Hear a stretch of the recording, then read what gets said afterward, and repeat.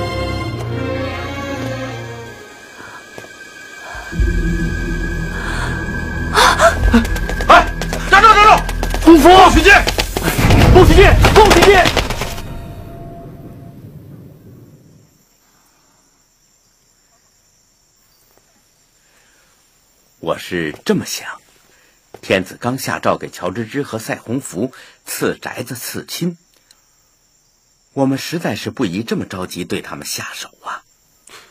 可是这乔芝芝、赛鸿福在这人世间多留一时半刻，武三思和武一宗殿下都会气恼不休啊。话虽如此，但苏子印先生的话也确实值得掂量啊。眼下要除去这二人并不难，但是那手捧尚方宝剑宣旨赐婚的谢瑶环，恐怕不会善罢甘休吧？那又怎么样？难道他敢在天子和皇后陛下嫡亲侄儿侄孙头上动用尚方宝剑？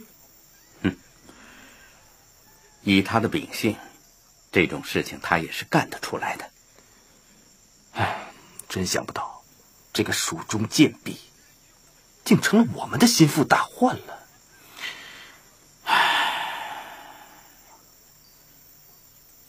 射人先射马，擒贼先擒王。射人先射马，马，擒贼贼先擒王哼。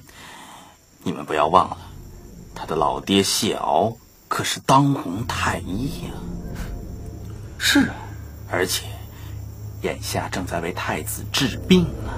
嗯，对呀，咱们这样，我们上上口，口把它，嗯，对，就是就这么干。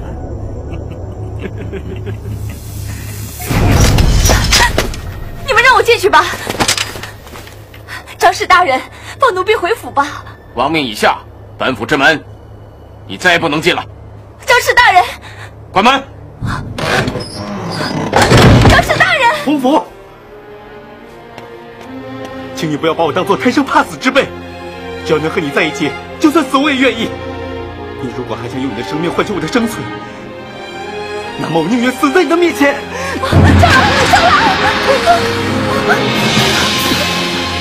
江郎，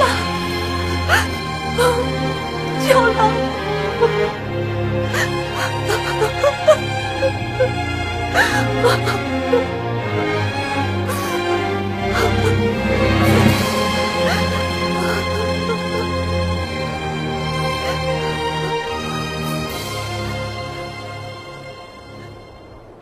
刚才姚环宣读过旨意了，一切都显得那么圆满，果然是雨过天晴。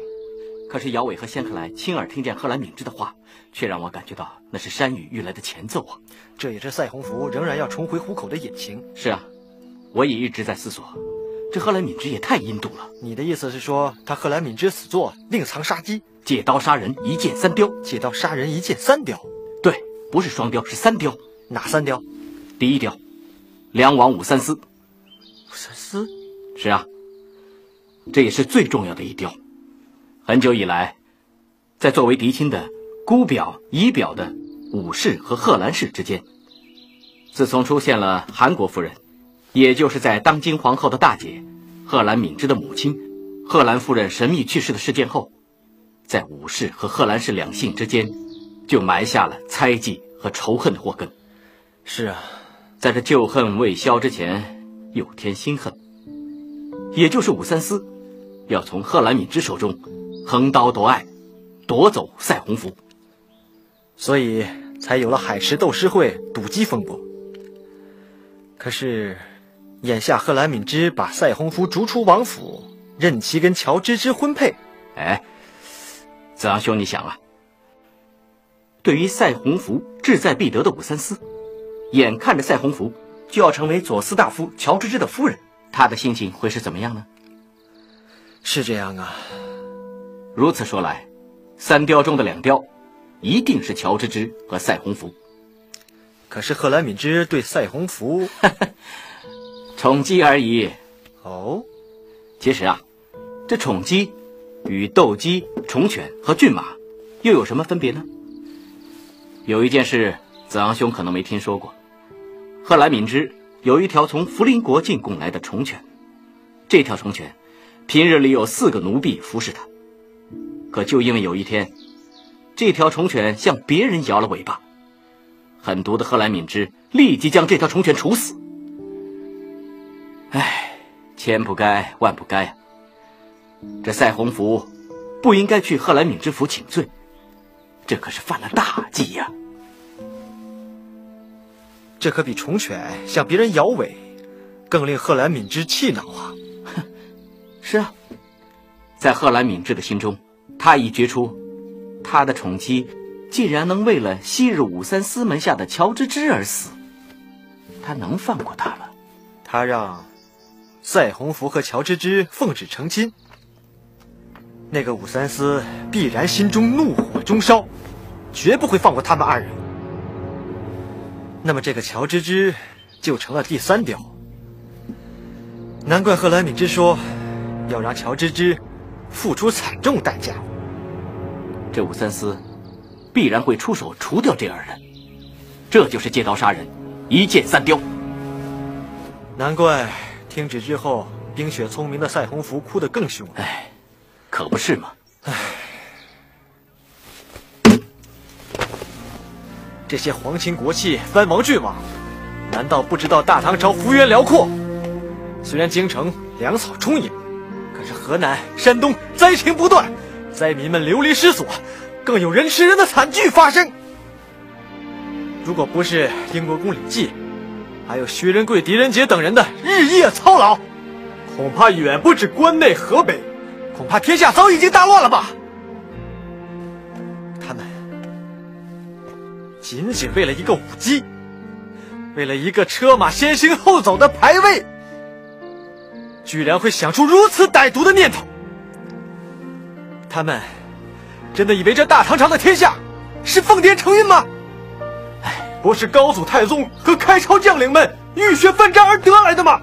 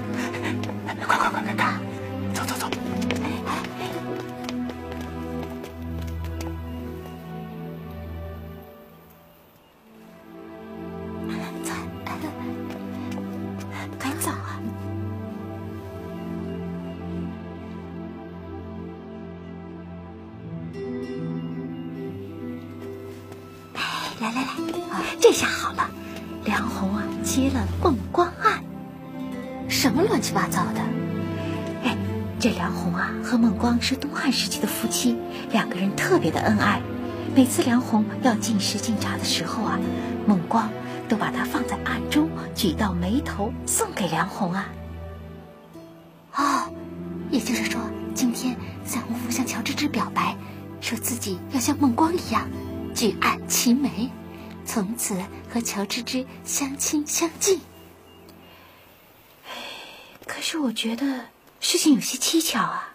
是啊，赛洪福他怎么会突然出其顾虑，愿意和乔芝芝奉旨成亲了呢？哎，走走走，先走吧。嗯，乔郎，洪福是怕……我早已经想好了，把生死置之度外，今生今世。我一定要与你同生共死。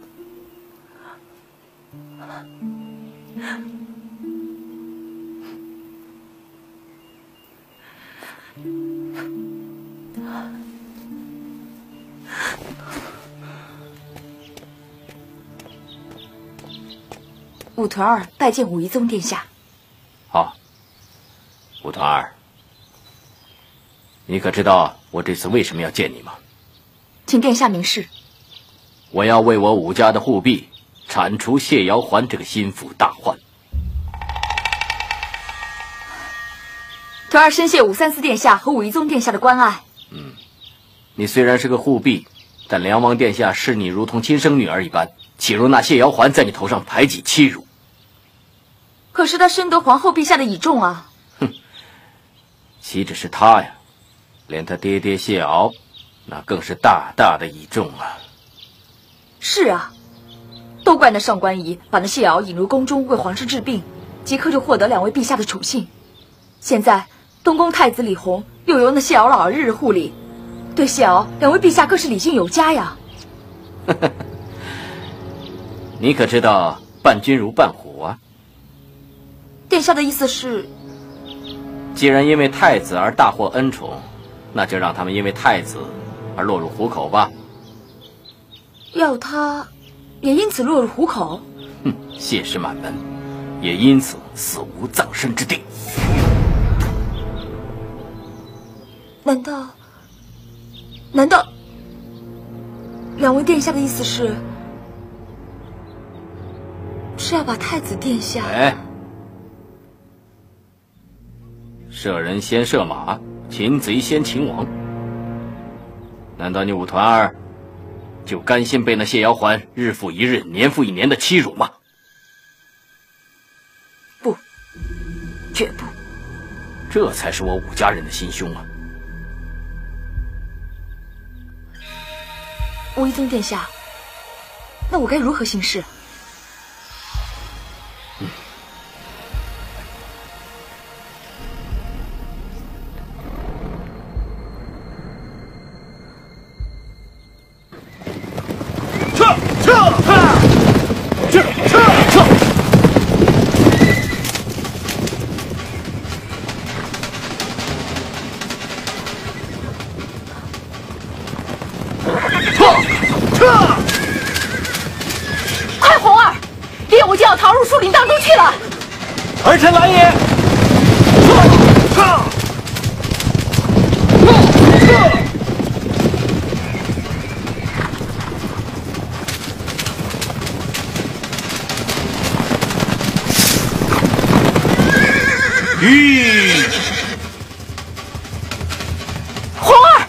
那工钱呢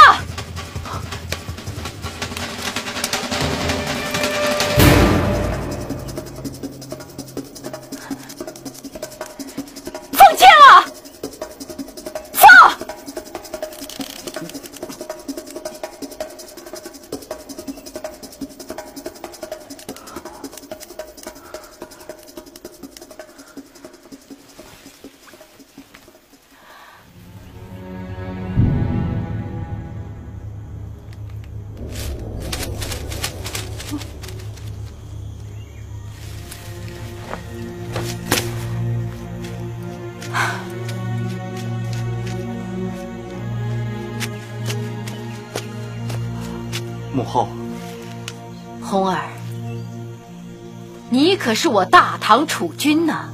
啊，陛下，太子当此太平盛世，啊，秉性仁爱，正是我们天下苍生的福气呀。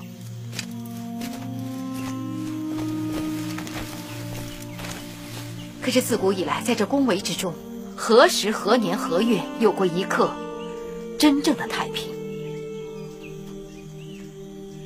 谢上公，在。你是亲自冲闯过西市刑场的，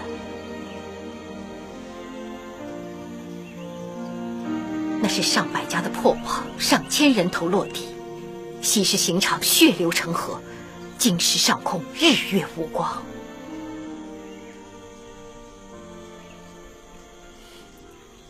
其实我也明白，真正要废黜我的是皇上。上官仪只不过是奉诏行事。你不知道也不明白，当初上官仪还劝谏过皇上，要他不要下诏。我也知道，也明白。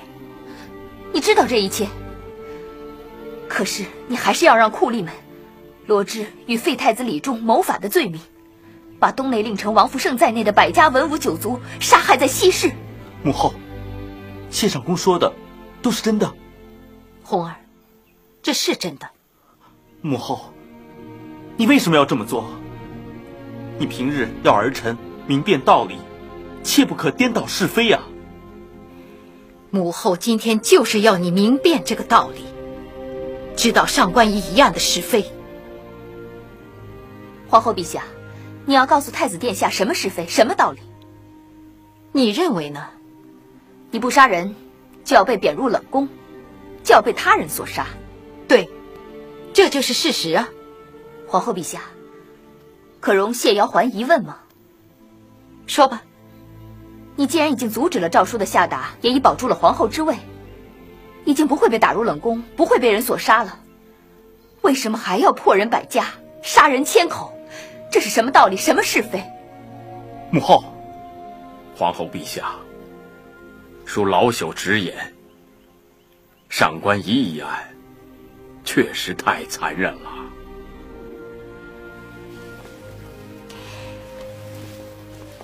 有谢敖这样的父亲，才有谢瑶环这样的女儿啊。谢敖先生，陛下，我早有所闻。巴西谢氏虽然是医学世家，但谢先生年幼也颇研读王霸之术，所以在悬壶济世的同时，谢家剑术也独步武林，不落人后。皮毛之术，不足挂齿。但是今天我也要对谢敖先生直言一句：微臣聆听圣训。上官仪一案，先生责我残忍。我却要责先生一叶障目，不见泰山。哦，呃，愿闻其详。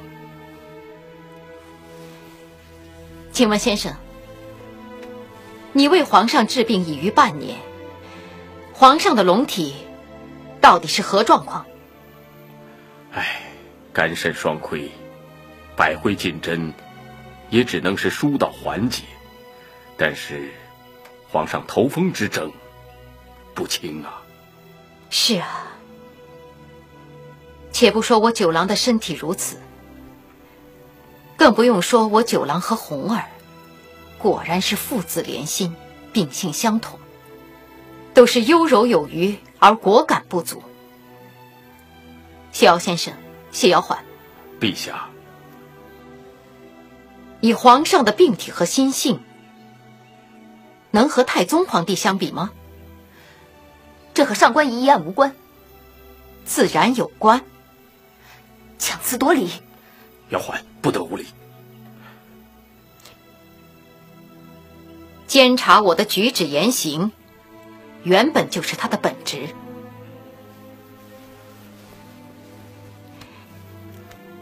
我毫不夸张的说。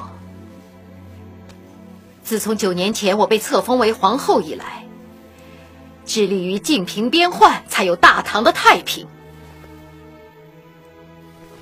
致力于劝农督织，才有大唐的繁荣。试想想，若我一遭废黜，侵扰铁骑，又会跨过阴山，像当年一样，不仅掠我城池，而且还会残杀、活埋我百姓数万之众。谢瑶环，你留意了，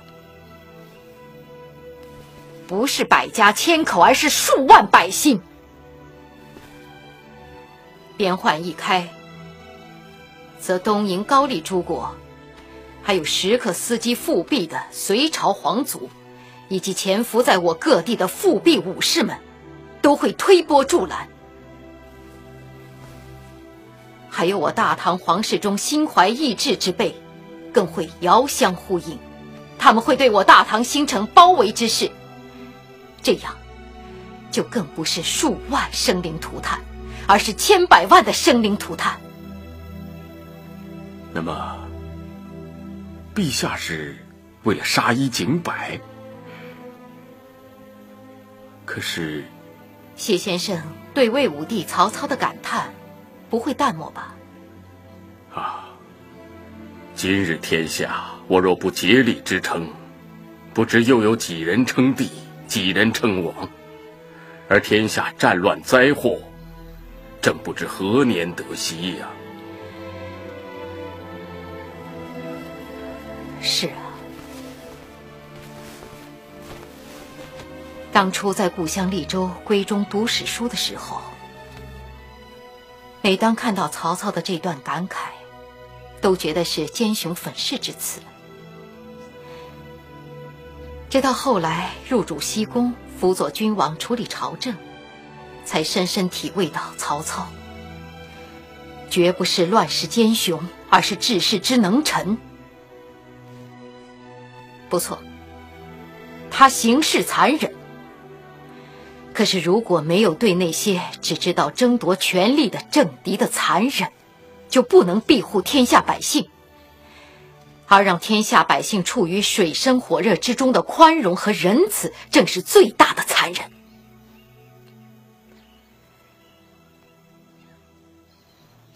不破百家，不杀千人，动摇我地位的事情还会频频发生。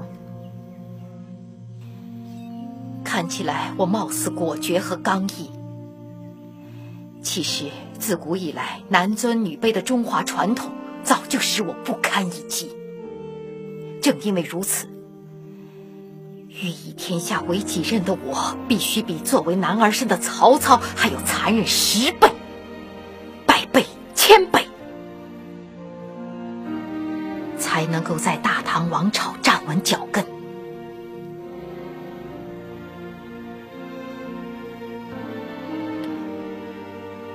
谢瑶环，你平心判断，我这是强词夺理吗？唉，让历史。来印证我们在西院内狩猎交谈的是非吧，谢瑶先生，谢瑶环。啊，臣在。奴婢在。我把李弘太子殿下托付给你们，不仅要使他的体魄强健，更要使他的心态强健，成为我大唐的一代明君。遵旨。遵旨。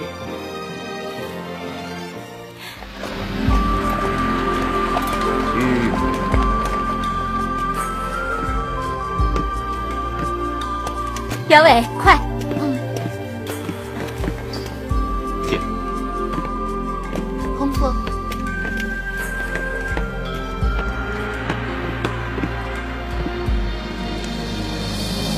居德坊和上官宅的群贤坊，只有曹渠相隔。闲来散步渠畔，便可见宅院相连呢。这真是善公拣选的好地址啊！洪福，喜欢吗？嗯，一个呀是文章魁首，一个呢是侍女班头，入住大夫府宅，真是让人羡煞的神仙眷属啊，对不对，骆宾王？仙客来。我突然有个奇思妙想，不知骆宾王可愿听否？好，当然愿意。好，那我说出来，可不准瞪眼生气啊！当然不会了。仙客来，哎，杨伟，你就让仙客来说。好，骆宾王都让我说了，那我就不客气了。这三天之后是不是吉日良辰，一宜婚嫁呀？这三天之后，正是麟德二年春二月壬午，大吉大利之日，最宜婚嫁。好，那我希望到那天我们可以双喜临门。仙客来，你 别说了。你看那新宅之右的垂柳啊，柳芽出哎土，多么美妙啊！陆宾王，不要转移话题啊！三天之后，我希望左司大夫乔芝芝可以把他的新娘赛鸿福接入家。我希望长安县主簿骆宾王能把他的新娘谢有伟娶入洞房。陈子昂以为仙客来之提议极有道理。嗯呀，谢伯父，那你应该令骆宾王俯首听命才是。哼，老虎早就盼着这一天呐！啊，爹，好了好了，不要耽搁了，赶快进入新宅，安排布置一下。三天之后，就要在这新宅大办喜事啦！啊，各位请，先请。啊，好，请。滚！都给我滚！是，滚！请殿下息怒。你们这帮废物还有脸让我息怒？叔王，直城等人正按叔王的意思筹谋。筹谋个屁！全是纸上谈兵，枉费时日。从冬到今春，已经半年有余了吧？东宫太子那边一点动静都没有，结果今天呢？啊，今天那对狗男女真的进了居德坊，你们两个就不能替本王想想吗？啊！聚德坊是用我的凤银建的，我的凤银建的，结果这对狗男女现在在里面如鱼得水，风流快活，让我以后怎么在这大唐朝立足啊？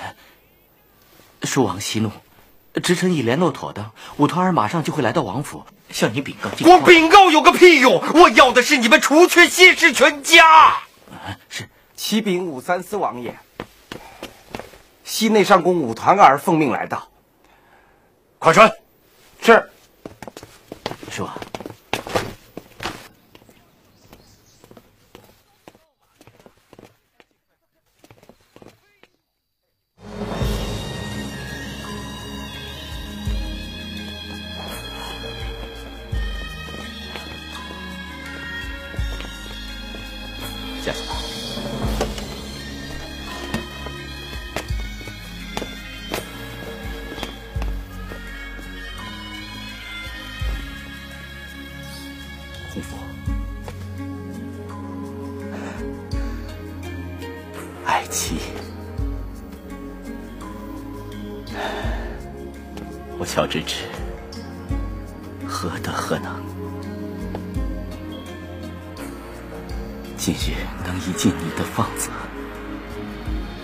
这是上天对我恩宠无边的眷顾啊！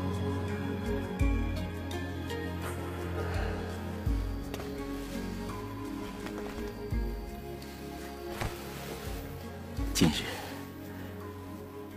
大唐麟德春二月壬午日之夕，乔芝芝对天发誓，此生此世与爱妻赛鸿福比翼双飞，即使身陷刀山火海，也要与你生死与共。江郎，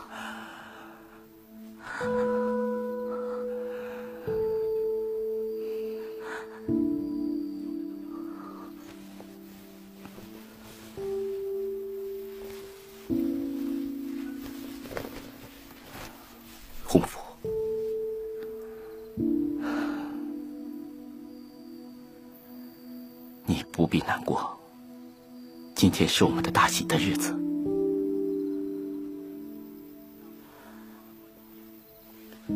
可是洪福满心满眼，却都是刀光剑影啊！巧了，不管怎么说，我们都是天子赐婚，你也不必过于惧怕。无论谁赐婚，都难逃武三思等人的毒手。你不惧死，奈何以死拒之？可是乔郎以前并非他们的敌人，都是因为洪福。不要这样说了。难道你现在还不明白？只要能为夫人而死，我是心甘情愿的。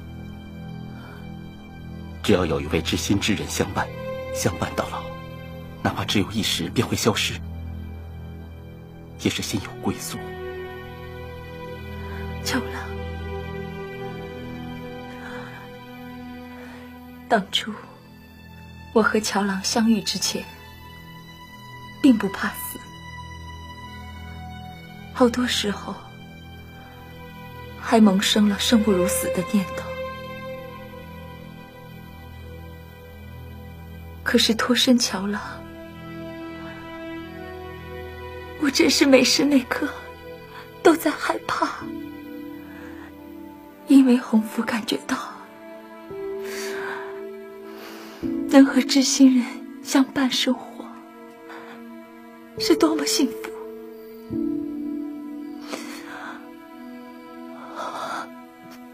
可是天意弄人，当赛洪福。终于找到知心人时，却也把知心人一起引入万丈悬崖的边缘。巧了，你明白吗？我明白。什么文章魁首？什么侍女班头？赛鸿福。只希望自己是山村姑娘，乔郎是山野耕夫，我们与世无争，一直，相依相恋，在绿水青山、花前月下、茅草屋前相伴。那才是洪福期望的神仙眷属的时光啊！夫人，我们能办到的。不能，我们办不到的。九郎，夫人，乔郎。武三思殿下，武团儿，你是不是害怕了？武三思殿下，武团儿在后宫被谢瑶环逼得度日如年，恨不得立刻置他九族于死地，绝不害怕。那你为什么还不动手？武三思殿下，一来自去冬以来，皇后陛下把太子的起居几乎全交给谢瑶和谢瑶环的手中。武团儿，这不是正好吗？太子一旦身遭重大变故，那谢氏妇女不就难逃杀身之祸了吗？但我身为皇后，进士上宫，要离开西内十分不便。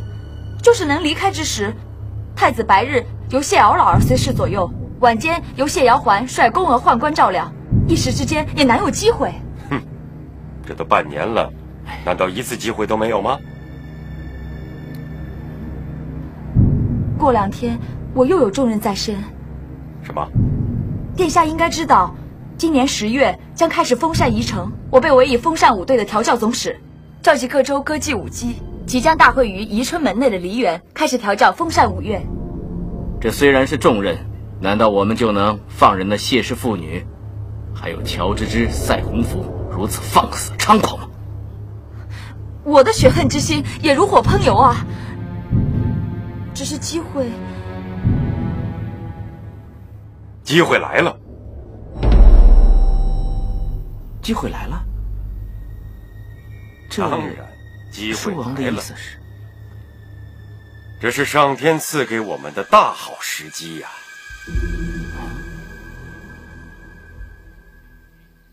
夫人，明天一早，我就去递辞官表彰。离开京师不行，没有用的。我们可以离开京师，到一个魔爪抓不着我们的地方。乔郎，我们就是逃到天涯海角，也难逃他们的毒手啊！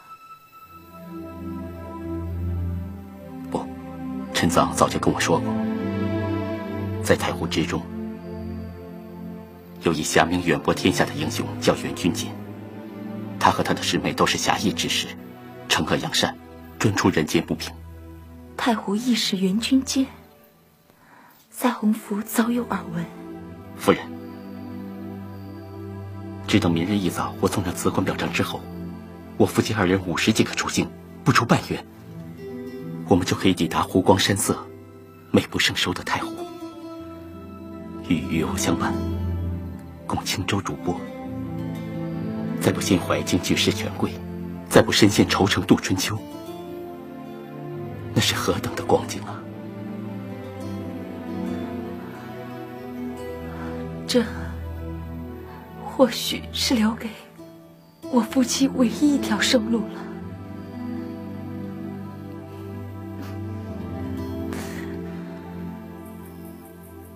吴腾儿，你现在身为风扇五岳演练调教总使，自可从宫中直接下达诏令，征集天下的歌者舞姬。正是。那你怎么忘了，这京城的舞姬班头，可是出自贺兰敏之府，现在正在乔芝芝身边的。对呀、哎，太对了！只要我团儿将那赛红福征调入梨园中，到那个时候，奴婢定要让乔芝芝和赛红福死无葬身之地。对了，我团儿，你一定要亲手将赛鸿福献到书王驾前，由书王亲自调教。徒儿明白。乔芝芝那狗官还没个交代呢。啊，苏子印，你马上去告诉周兴来俊臣，明日一早在居德坊前静候。是。书王，你如此安排是何打算呢？你想这乔芝芝新婚燕尔，怎舍得自己的娇美妻子就这么被征调入宫啊？哈哈，只要她稍有阻留，我们就可以以抗旨和破坏风扇五岳的大罪，将她关入祥刑寺。到时，周兴和来俊臣大人自当知道该怎么做了，啊？封禅大礼是当今皇后亲自倡议的。那谢瑶环、陈子昂，即便是想出面营救，皇后也不会听从的。武三思殿下智力过人呐、团儿，奴婢在，依计行事。谨遵王命。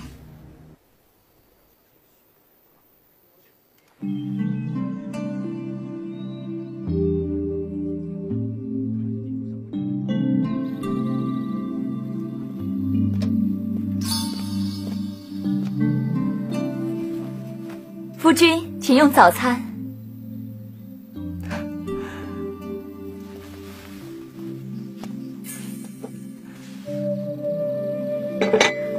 来，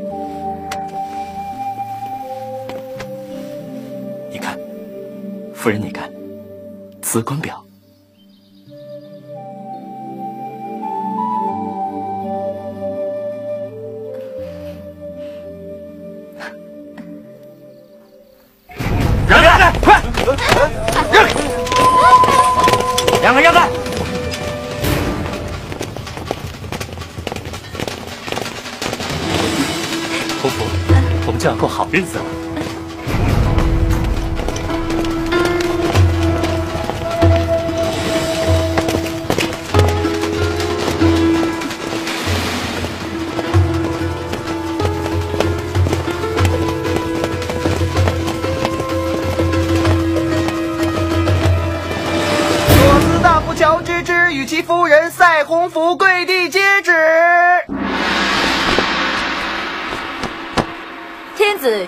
朝会，以宣告天下，将于麟德三年封禅于泰山，将征调天下佳丽练习封禅之舞于梨园。今据此，征调左司大夫乔芝芝之妻赛鸿福，即刻进宫，令道即行，勿容置言。恭喜了，乔芝芝大夫。尊夫人赛鸿福以能歌善舞而被征调入宫，参与封禅大礼。快送孙夫人上轿吧。乔老，请武上宫转奏宫中，不要调其入宫。乔大夫，新婚燕尔，你宿酒未醒吧？武上公，住口！封禅大礼为天子皇后祭祀天地的莫大之礼，为此征调之人，休说你小小左司大夫的夫人，就是征调到王侯公卿的诰命夫人，也必须即征即行。就连高丽、波斯等十国的宫中命妇，也必须奉旨应征。你身为大唐朝官，竟敢说出这般大不敬的话来！武相公，小郎，我们夫妻认命吧。哼，夫人，我绝对不和你分开。乔芝芝，你竟敢抗旨！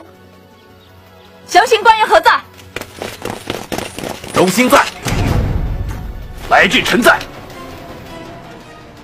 左司大夫乔芝芝抗旨留人，破坏封禅大礼的筹备，即刻押入祥兴寺推审问罪。来人呐，将乔芝芝带回祥兴寺，拿下。是。走夫人，夫人，夫人。